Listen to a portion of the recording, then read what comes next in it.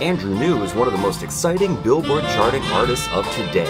He blends a unique mix of jazz, R&B, classical, and Latin music.